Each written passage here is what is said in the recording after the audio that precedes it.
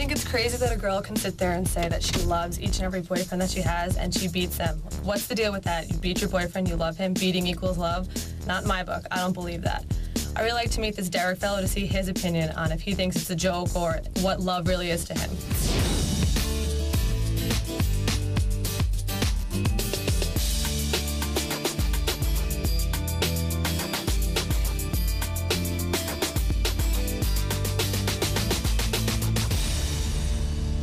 Andrea has not seen Derek in two years. Um, two years ago, Andrea pushed Derek down the stairs. Andrea admits to being a woman that um, is abusive to her boyfriend. Every single boyfriend she's ever had, she's been abusive.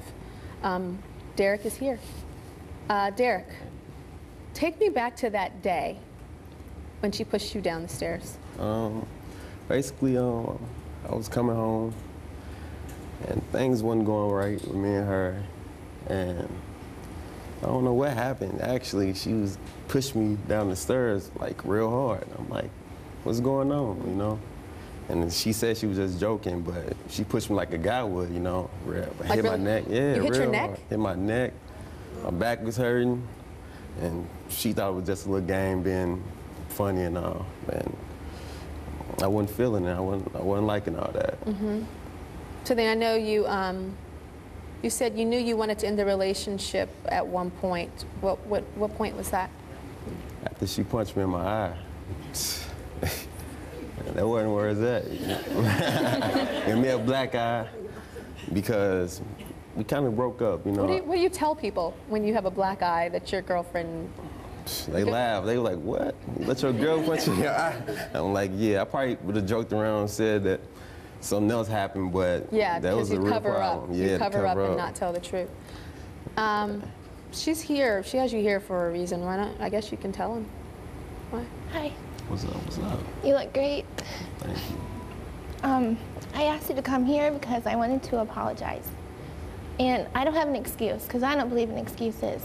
But I know that I need help.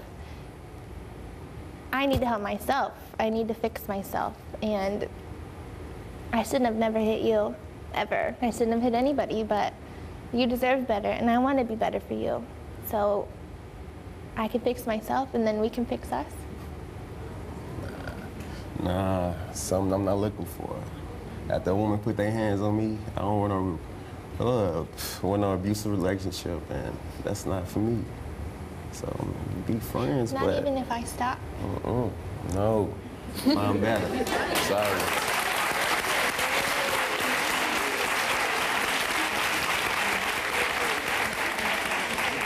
Derek, you said you found better in a relationship now. Yes. Yeah. Does she hit you? No. No. She loves me. Yeah, that's good. Hi, Cooper Lawrence, relationship expert. Cooper Lawrence is here. Um, why do you think it's becoming more and more common for women to actually put their hands on men and to abuse men?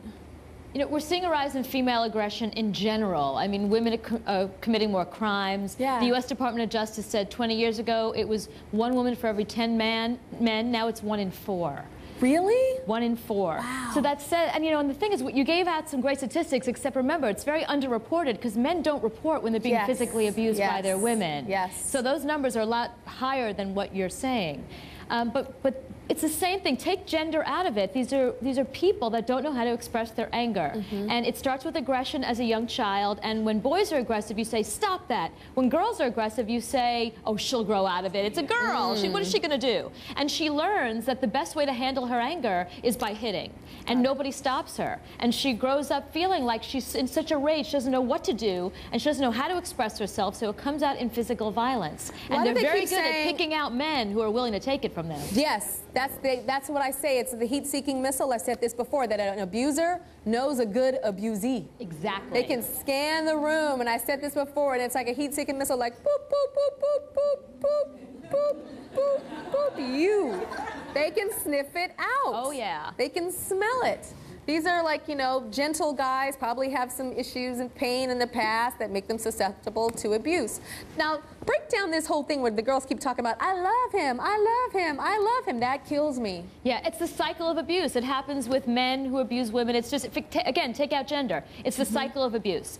They do something that causes me to hit you, as if the problem is you, not me. Mm-hmm. And they're unwilling to look at the fact that they're the ones with the aggression problem. Mm-hmm. It's easy to blame the other person and say, well, you cheated on me, my boss fired me, my friend did this. You know what? Life's tough. Yeah. Your reaction to it is under your control. Both of the women, the young ladies, um, Andrea and Kendra, said, please, I, I, I can change. Please take me back, or please marry me. I can change.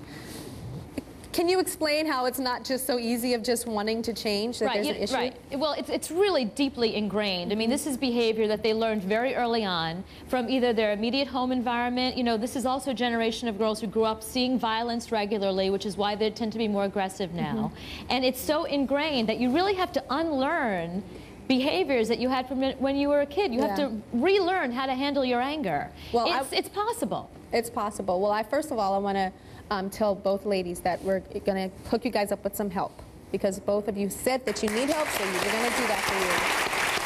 And um, second of all, with um, Derek and uh, Derek and Marcus, I just want to uh, applaud you because you guys are total role models for guys that are going through this at home that are too scared to say something or too embarrassed. So you have like pulled the lid off of this to say, say something, you know, get away from these women that are doing this to you and that it's not the worst thing in the world to voice this issue that could be so awful because you never know what you said before or one of you guys said that one time it's pushing down the stairs and the next time it's a gun to your head.